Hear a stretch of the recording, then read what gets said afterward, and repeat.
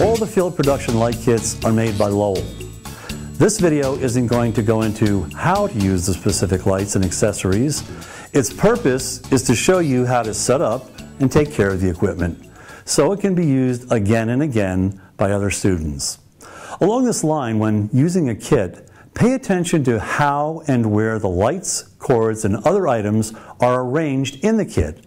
You want to put everything back the same way that things came out to help the next person and not make a mess. First, the light stands. When you loosen the leg screw, don't just take the legs down to here. They go further to make a stable base. And you'll find three kinds of lights in the kits. The Tota-light, which is broad and opens up and gives you a very wide and bright light range. The Omni light, which is round and has a lot of things such as barn doors that cut off light and other accessories to help you to control it. And the small Pro light, which also has barn doors, but as you can see, with less control.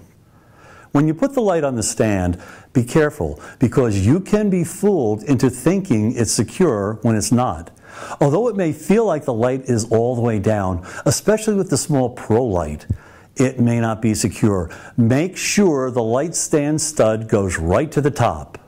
That's really secure. Now, when setting up the light, and you want to make the light go higher, always start from the top. Why? you can keep extending it without too much stretching. If you start at the bottom, it's hard to adjust when you need to go higher. And finally, try to keep the light cords from hanging where they can get caught by a foot and fall over, which in most cases breaks the light. There's an extension cord and a three-way adapter in each bag. With the smaller Pro lights, you shouldn't have to worry about tripping a circuit breaker. But with the Omni and Tota-lights, with their more powerful bulbs, don't put three lights on a circuit. You're asking for trouble. Split them up with at least one light on another outlet. These light fixtures get incredibly hot, so when you use them, there's a long cool down period. So make sure not to put one next to a water sprinkler head, smoke detector, or up against ceiling tiles where they can cause discoloration and burning. And bulbs eventually do go out, so when you need to replace one, there are a few precautions.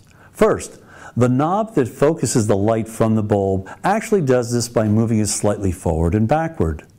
Now, when replacing the bulb, have it in the forward position. The ceramic bulb holder is most accessible in this position. And here's a very important point. Do not ever touch the new bulb with your fingers. Repeat, do not ever touch the new bulb with your fingers. Always use the foam in the spare bulb container or a non-oily tissue or paper towel when putting the new bulb in. Your fingers put oil on the new bulb and will greatly shorten its life. It doesn't happen right away, but it will kill that light bulb sooner than it should. A few quick notes. On some kits, there's a fold-down compartment that holds colored gels used for effects and diffusion gels to soften the light. Another item that gets used a lot, especially for really good soft overall lighting, is the umbrella. It needs to be treated gently so the ribs don't get bent. And on the light fixture, there's a slot with a little knob that lets you slide the umbrella in. Now, when it's in place, it faces the opposite direction of the light beam. So with the umbrella, everything basically gets turned around. All the light kits and parts are color-coded to make sure they stay together as kits. So make sure that the Velcro ties don't get lost.